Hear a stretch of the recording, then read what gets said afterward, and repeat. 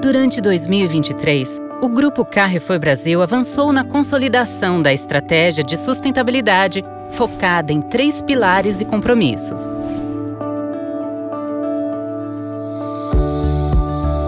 A oferta de alimentos de qualidade e acessíveis é o propósito do Grupo Carrefour Brasil. Por isto, no pilar de combate à fome e às desigualdades, o grupo investe em iniciativas estruturantes que contribuam para a empregabilidade e mobilidade social, assim como o apoio para questões emergenciais. A cultura do grupo, expressa nos pilares I4Cs, é reforçada através de uma série de compromissos e ações com o objetivo de combater o racismo, promover a equidade de gênero e raça e a inclusão de pessoas com deficiência.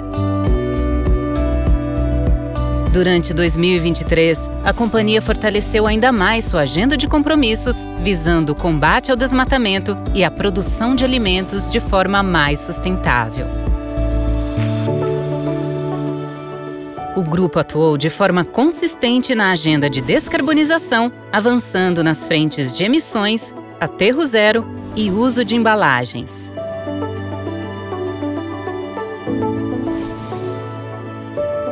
Conheça mais detalhes e os destaques do grupo Carrefour Brasil no Relatório Anual de Sustentabilidade de 2023.